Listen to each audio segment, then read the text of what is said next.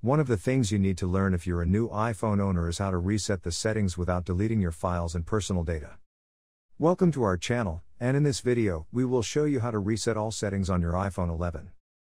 Unlike the factory reset or iOS restore, you don't necessarily need to back up your important files and data when doing this procedure. It's because none of them will be deleted.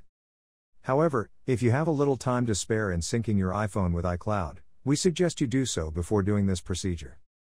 Now to begin, find Settings from the springboard and tap on it. Find and tap General.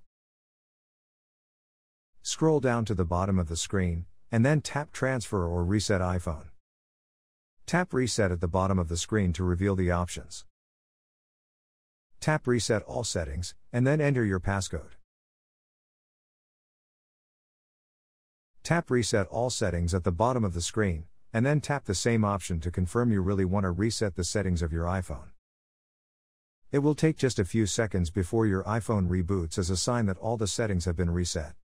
Once the device has finished restarting, it's a sign that all the settings have been brought to their factory defaults. Thanks for watching.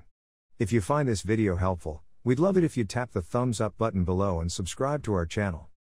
We will be publishing more helpful videos every day, so stay tuned.